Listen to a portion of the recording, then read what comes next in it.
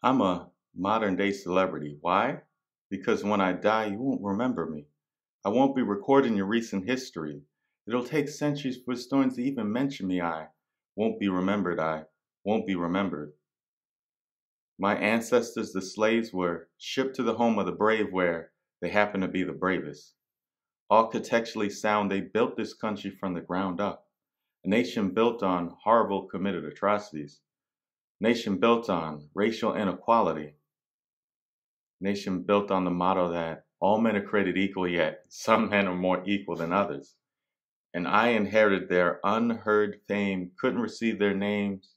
There, there, or anywhere are their graves. They were highly overworked workers who were underpaid and undermined in the books of psychologists. I think you get the gist. Well, I am heir to their misrepresentation. You see, I'm a modern day celebrity, nothing pretty. Smell me now because I won't be around to be remembered.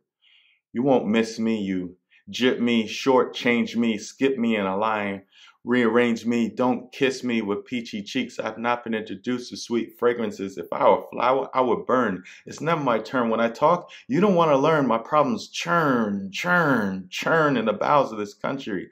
I have many names. One is friendly. A dozen roses is not what you send me. I'm nothing dainty. I'm a million blue collar workers getting dirty from the work of hard manual labor. I'm also a teacher with a Bible in my right arm and a textbook in my next. Yes, I'm an extraordinary, peculiar person put in these ordinary circumstances, which makes me a modern day celebrity. Why? Because when I die, you won't remember me. I won't be recording your recent history. It'll take centuries for to even mention me. I won't be remembered. I won't be remembered.